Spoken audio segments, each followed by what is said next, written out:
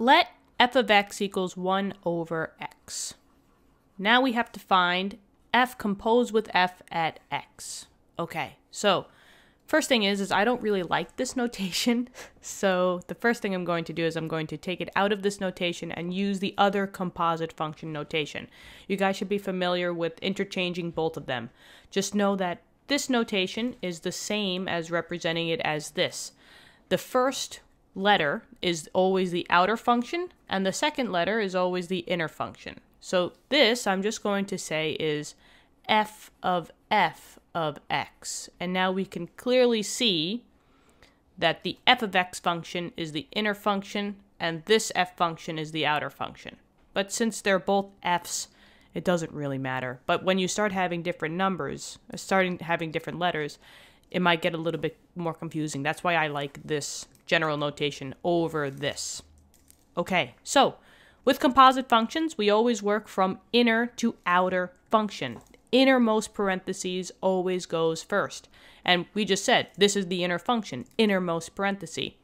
So we're going to plug in the input, it's usually a number for the inner function, and solve. However, they just gave us an x. So the first thing I'm going to do is just say, well, what is f of x? Well, f of x was 1 over x.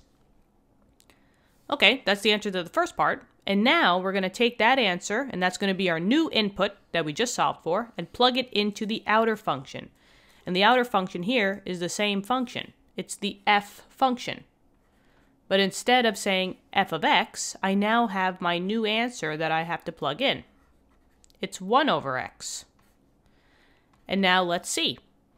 Whenever I see an x value, I need to plug in my new value here. So this x is now going to be 1 over x.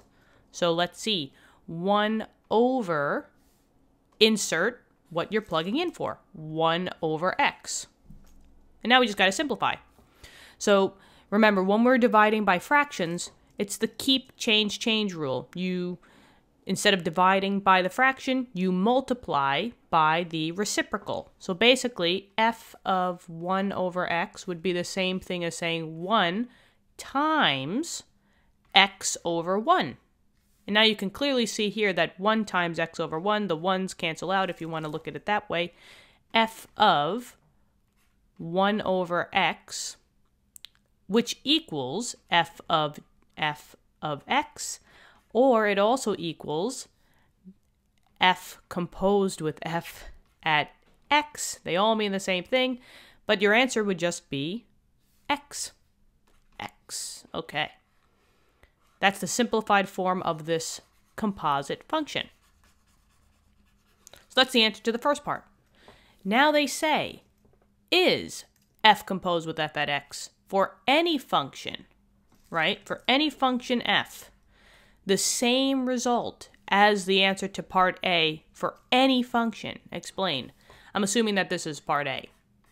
So they're basically saying this is a convoluting and confusing way of just saying, can I use any f of x value? Can I can I put in any f of x function and do the same exact thing that we just did, f of f of x, for any function and still get only x as my answer because the answer here was x.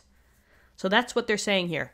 If I make up any function, any function at all, let's try to do the same exact composite function and let's see if we get the same answer.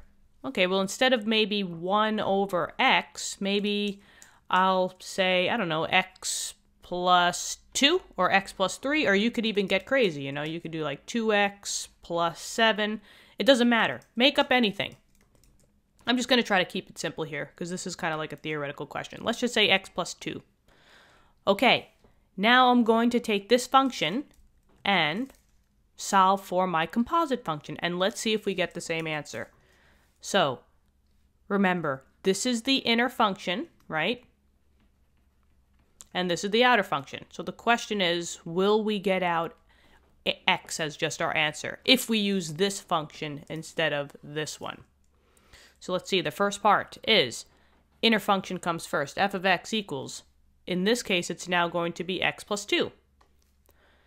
Now the second part is f of what?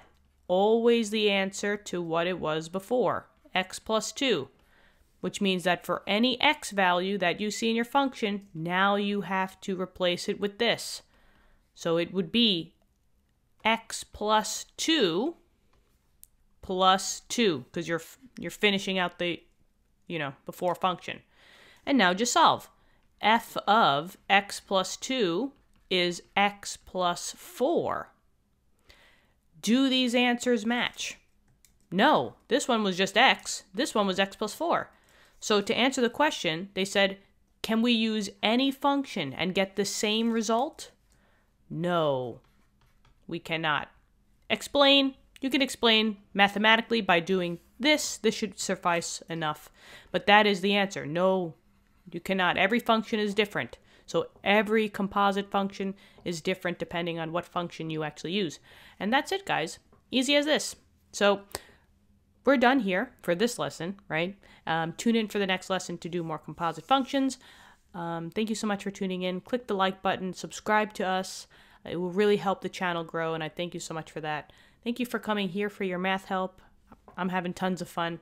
Let's get on with the next question. I'll see you in a little bit. Bye bye.